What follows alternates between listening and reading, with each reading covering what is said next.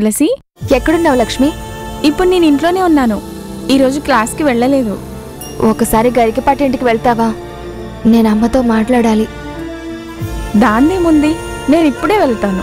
ఆ. సరే లక్ష్మి నువ్వు త్వరగా వెళ్ళు. వెళ్ళాక ఫోన్ చేయి.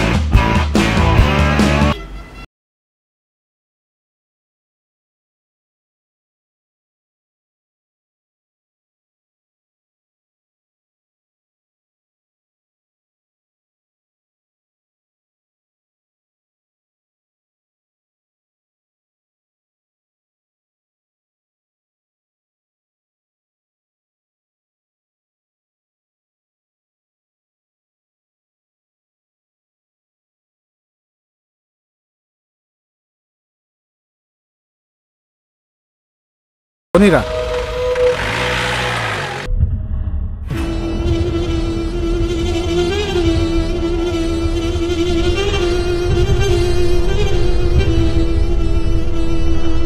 ఇది కొంచెమన్నా తినండి.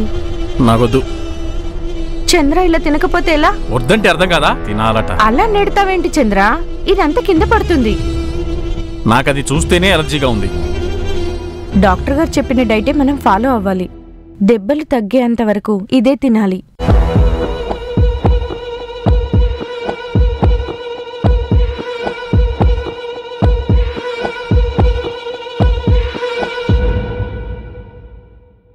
గంజి తాగి పడాల్సిన గతి పట్టింది నాకు.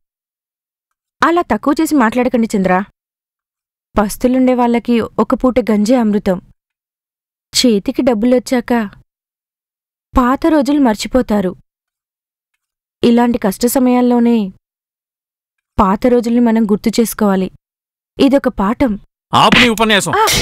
పాఠం అట పాఠం. నా పాత రోజులు గుర్తు చేస్తున్నావా?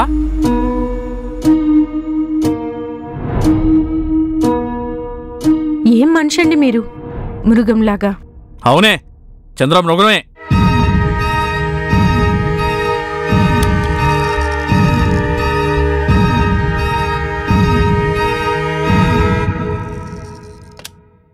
ఏంటి చంద్ర? నువ్వేంటి? ఈ అవతారం ఏంటి?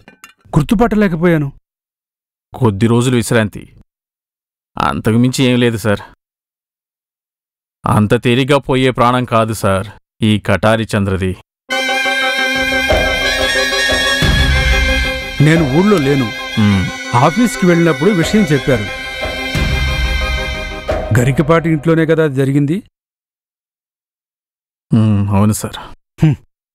రాత్రి వాకిట్లోకి వెళ్ళిన సమయంలో వెనుక నుండి ఎవరో నిన్ను పొడిచారు. అలా అని నువ్వు పోలీసులకి స్టేట్మెంట్ ఇచ్చావని నాకు తెలిసింది. కానీ సంగతి అది కాదని నాకు తెలుసు. నీ బామ్మర్దే నిన్ను కత్తితో పొడిచాడు కదూ? నువ్వు నా దగ్గర అది దాచిపెట్టద్దు. నువ్వు వాడి పేరు చెప్పకపోవడానికి కారణం కూడా నాకు తెలుసు. వాణ్ణి పట్టుకోవడానికే కదూ? అందుకోసం ఎదురు చూస్తున్నాను ఆ కుర్రాడు ఊళ్ళో నుండి పారిపోయాడని అనుకుంటున్నారే. వాడెక్కడికి పోలేదు. ఈ ఊర్లోనే ఉన్నాడు. ఏంటి చంద్ర? అంత గట్టిగా ఎలా అంటున్నావు? వాణ్ణి వాడు కాపాడుకోవడానికి ఎక్కడికి పారిపోడు. వాడికి వాడి అమ్మ అక్క ఇద్దరే ముఖ్యం. వాళ్ళు ఇప్పుడు ఉంటున్నది చంద్రాకొన్న ఇంట్లో అని కూడా వాడికి తెలుసు. వాడు ఏ ఊరు పారిపోడు. పొగబెట్టి లాగాలి. ఇప్పుడు నా మనుషులు ఆ పనిలోనే ఉన్నారు. ఇక వాడు బయట ప్రపంచం చూడలేడు. అది సరే. నీ భార్య మానసి ఏది? ఇలాంటి పరిస్థితుల్లో పక్కనే ఉండి చూసుకోవాల్సింది తనే. అంతేగాని ఇంట్లో పని మనిషి కాదు. దాన్ని నేను ఇంటికి పంపించాను. చేజారిపోకుండా చూసుకోవడానికి అక్కడో ముఖ్యమైనది ఉంది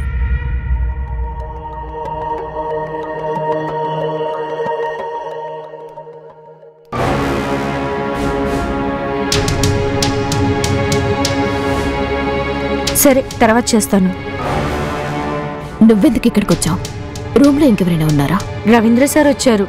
అందుకే నేను బయటకు వచ్చేసాను అతను లోపలే ఉంటే నేనిలా వెళ్ళేది? నిన్ను చూస్తే చంద్ర రెచ్చిపోతారు. తెలుసుగా? ఎందుకు నిన్ను చంద్ర ఇంటికి వెళ్ళిపోమన్నారో? నీకేం తెలుసని నువ్వు మాట్లాడుతున్నావు? తెలుసుకోవాల్సినవన్నీ తెలుసుకున్నాను. కాబట్టి చంద్ర నిన్ను అవమానించడానికి కారణం ఏంటో కూడా నాకు తెలుసు. తులసి చంద్ర మనసులో ఉందని నాకెప్పుడో తెలుసు మాన్సి. ఇక్కడి నుంచి డిశ్చార్జ్ అయి రావడానికి చంద్ర తొందరపడుతున్నారు. వీలైనంత తొందరగా మీ ఇంటికి రావాలని.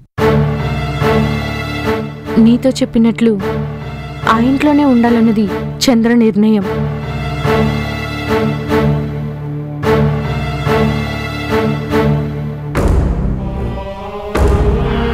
చంద్రకి ఇప్పటి వరకు తెలియని ఒక నిజం నాకు తెలుసు. తులసి అక్కడ లేదని. ఈ విషయం మేమెవరం చంద్రకి చెప్పలేదు.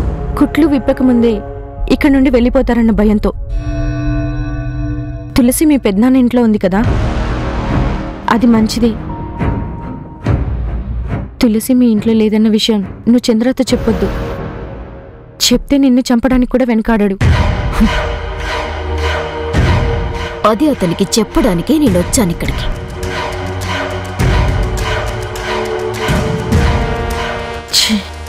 చంద్ర పడవలసినవన్నీ పడ్డారు. తులసి అక్కడి నుండి వెళ్ళిపోయింది కూడా. పగ తీర్చుకోవడం కోసం నువ్వు సవాల్ విసరడం మంచిది కాదు. నాకిది చెప్పడానికి అసలు నువ్వెవరు? నేనెవర్ని కాను. ఒక భార్యగా నీకున్న అధికారాన్ని బట్టే చెప్తున్నాను. నువ్విప్పుడు వెళ్ళిపో. తప్పుకోవే.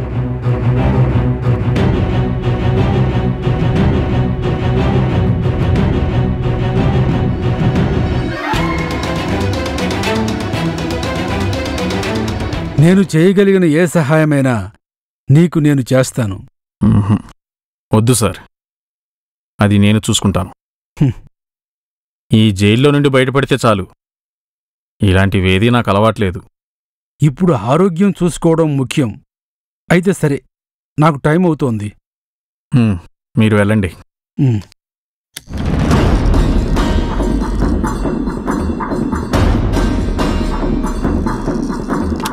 ఇప్పుడు నువ్వు ఇక్కడికి ఎందుకు వచ్చావే? నాకు సేవలు చేయడం కోసం ఇక్కడికి రానక్కర్లేదని చెప్పానా లేదా? ఆ? అయినా ఎందుకు ఇప్పుడు వచ్చినట్టు? అలాంటి అభిప్రాయం మీకుంటే గనక అది వద్దు. నేనొచ్చింది మీకు కొన్ని విషయాలు చెప్పటానికి. నేను తనతో కొంచెం పర్సనల్గా మాట్లాడాలి. సార్ ఇక్కడే ఉంటారు. ఇక్కడి నుంచి డిశ్చార్జ్ అయ్యి గరికపాటి ఇంటికి రావాలన్న ఉద్దేశం కనుకుంటే మీరక్కడికి రావద్దు. మీకోసం ఆ ఇంటి తలుపులు ఇక తెరుచుకోవు అది నిర్ణయించడానికి నువ్వెవరు? ఆ? నేను డబ్బిచ్చుకున్న ఇల్లది. కానీ ఇల్లు నా పేరు మీదుంది. అక్కడ ఎవరుండాలో ఉండకూడదో నిర్ణయించాల్సింది నేను. అరే చంద్ర ఏం చేస్తున్నావు నువ్వు?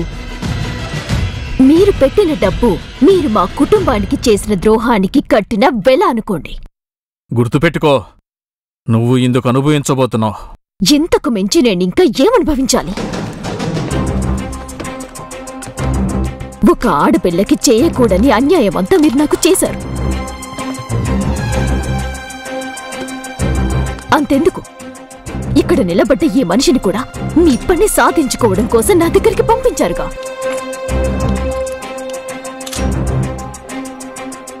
మా నాన్నని మోసం చేసింది మీరేనని అందరూ చెప్పినా కూడా నేనది ఎప్పుడు నమ్మనిలేదు మీరు మోజుపడుతున్నది నా చెల్లినని తెలిసిన క్షణం మిమ్మల్ని అసహించుకున్నాను. మీకు పడ్డ ఈ శిక్షను చూసి నా కళ్ళ వెంట ఒక్క కన్నీటి పొట్టు కూడా రాలలేదు. ఇంకా నా జీవితంలో మీకు చోటు లేదు. అయినా నిన్ను నేను ఏనాడు ప్రేమించానే? నీ మనసులో నా మొహం ఉంచుకోవాల్సిన అవసరం లేదు. నేను గరికిపాటి ఇంటికి వస్తాను. నువ్వు నీ దారి చూసుకో. భార్య అన్న వంకతో నువ్వు నా దారి కట్టురాకు. అందుకు మీరసలు మా ఇంట్లో కాలు పెట్టాలి కదా. మానసి బతికుండగా అది ఎప్పటికీ జరగదు? చంద్ర!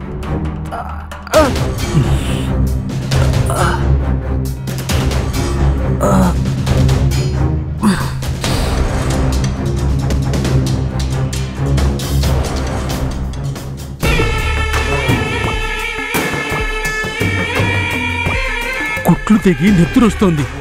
నువ్వు కొంచెం ఆగుతావా? దీన్ని నేను వదిలిపెట్టను. అరే నువ్వు ముందు వెళ్ళు మానసి.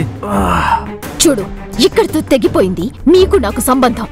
ఇక నా కోసం నా ఇంటికి రావద్దు. ఏయ్! నిన్ను? చంద్ర ఆగు ఆగు చంద్ర ఆగు.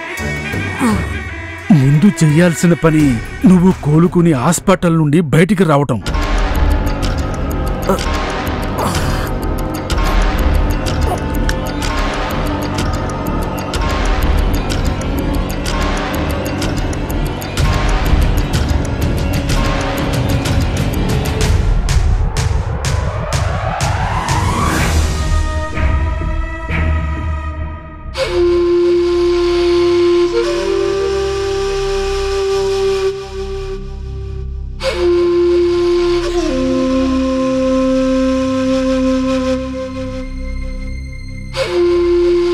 ఏమ్మా ఈరోజు కాలేజీకి వెళ్ళలేదా? లేదత్తయ్యా.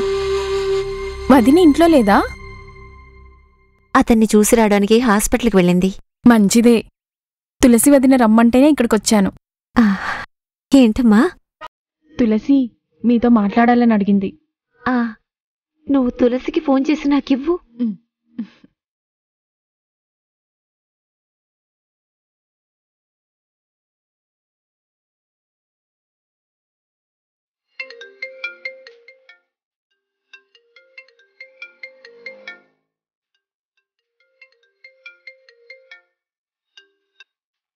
హలో. ఆ తులసి ఆ అత్తయ్యకి ఫోన్ ఇస్తున్నాను.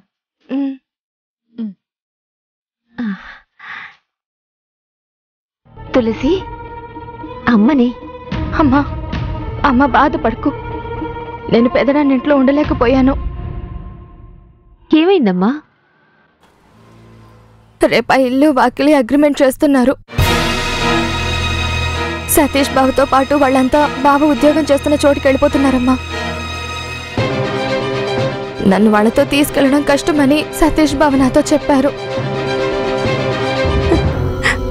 అయ్యో తులసి నువ్వు ఇప్పుడు ఎక్కడికి వెళ్ళావు? నువ్వు ముందు మన ఇంటికి వచ్చి. నేను ఇంకక్కడికి రానమ్మా. నువ్వు ఏమనుకొని అక్కడి నుంచి వచ్చేసావు?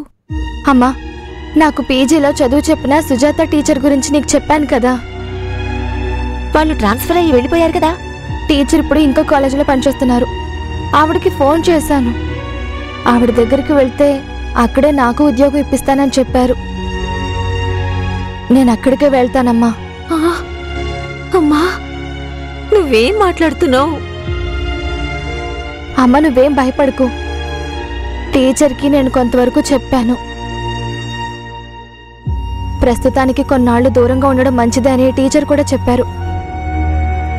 ఆవిడ రమ్మంటేనే అక్కడికి వెళ్తున్నానమ్మా.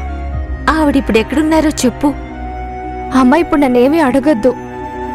నేను సుజాత టీచర్ దగ్గరికి వెళ్ళానన్న విషయం అక్కకు కూడా చెప్పొద్దు. ఆ, ఆ అమ్మా బస్ వచ్చేసింది. నేను అక్కడికి చేరిన వెంటనే శ్రీలక్ష్మికి ఫోన్ చేసి చెప్తాను.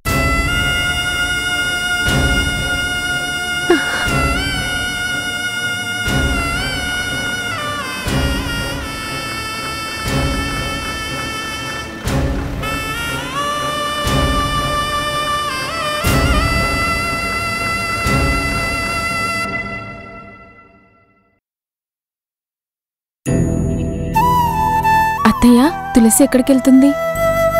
ఎక్కడికో ఒక్క మాట కూడా చెప్పకుండా వెళ్ళిపోయింది.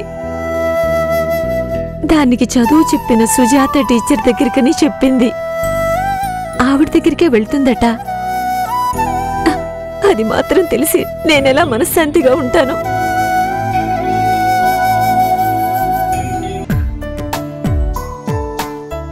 నందు విషయంలో ఇక మనకి టెన్షన్ లేదు. అక్కడికి వెళ్ళాక వాడి విషయం అన్నయ్య చూసుకుంటాడు. నువ్వు జాగ్రత్తగా ఉండడం మంచిది. చంద్ర మనుషులు నిన్న రాత్రి నిన్ను చూశారు కదా? నాకేం భయం లేదు జయకృష్ణ సార్. నందు పేరు చంద్ర పోలీసులకి చెప్పలేదు కాబట్టి ఆ రకంగా నా మీద కేసేమీ రాదనుకుంటాను. ఇక చంద్ర మనుషులు లాయర్ ధర్మారావు కొడుకు మీద చెయ్యేసే ధైర్యం వాళ్ళకి లేదు. మానసి ఫోన్ చేస్తుంది. నాకెందుకు ఫోన్ చేస్తుంది? తీయండి సార్. ఆ ఇంట్లో పరిస్థితి ఇప్పుడు అంత బాగోలేదు కదా.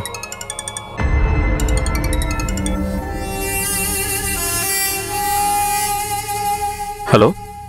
జయబావా నేను మానసిని. దయచేసి మీరు ఫోన్ కట్ చేయొద్దు నేను ఒక విషయం చెప్పాలి. హలో. ఏంటో చెప్పు. జయబావా తులసి ఫోన్ చేసిందా? తను నాకు ఫోన్ చేసినా అది నేను ఎందుకు నీకు చెప్పాలి? జయబావా తులసి ఇప్పుడు పెదనాన్నింట్లో లేదు. పెద్దనాన్న ఇప్పుడు ఇక్కడికి వచ్చారు.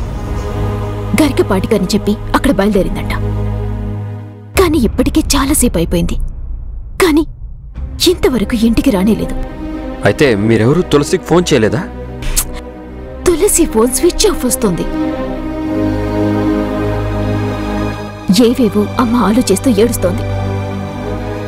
వెళ్ళి వెతకడానికి కూడా ఇక్కడ ఎవరూ లేరు. జయబాబా కొంచెం నువ్వు కనుక్కుంటావా? తులసి వస్తే వెంటనే నాకు ఫోన్ చేయి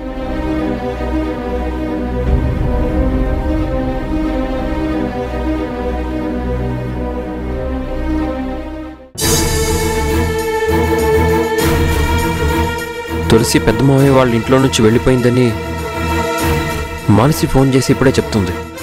ఎక్కడికి వెళ్ళిందో మనం వెతుకుదాం పద.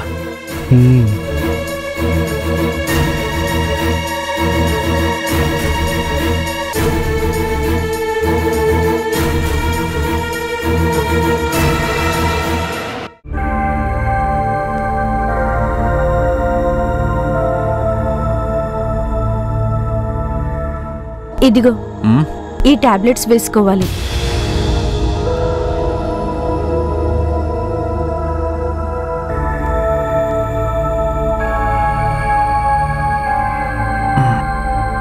ఆ గిరి ఇంటికి రాలేదా? నాకు తెలుసు ఆ కుర్రాడు ఇంకా దొరకలేదని.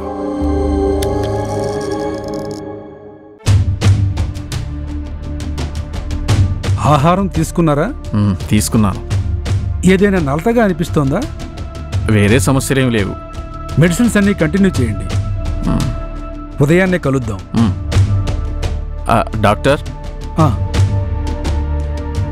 నేను ఇక్కడ ఇలా పడుకోలేను. నన్ను డిశ్చార్జ్ చేయండి. ఏం మాట్లాడుతున్నారండి మీరు? స్టిచ్చెస్ కూడా విప్పలేదు. నేను నేను ఇంటికెళ్ళి రెస్ట్ తీసుకుంటాను. గాయానికి డ్రెస్సింగ్ చేయాలి. యాంటీబయాటిక్ ఇంజెక్షన్స్ కూడా అవ్వలేదు. Woo!